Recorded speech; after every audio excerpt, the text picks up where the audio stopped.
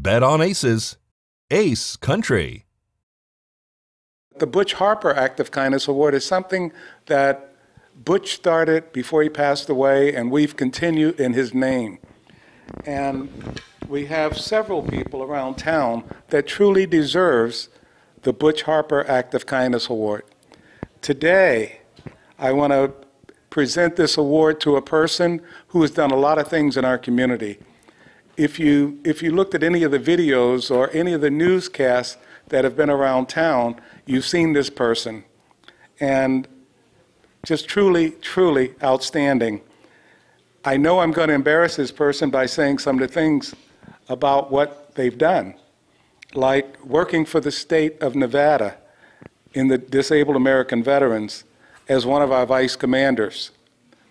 Also, vice commander of the local chapter of Dis- Disabled American Veterans. When we had the uh, Vietnam Memorial Wall here, this person was all over the area putting the program together.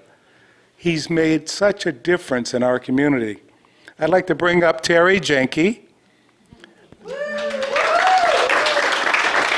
And that's one of the reasons I said that you would be able to see him because you can see Terry wherever he is. But it says for your commitment to our veterans and our community. And Terry, truly, truly deserving. I just want to say thank you. Uh, Thank you. I don't, I I don't deserve this. There's so many other people out there who do more than I do. The Rotarians, thank you for everything you do. And I can't say anything more, I'm sorry. Thank you.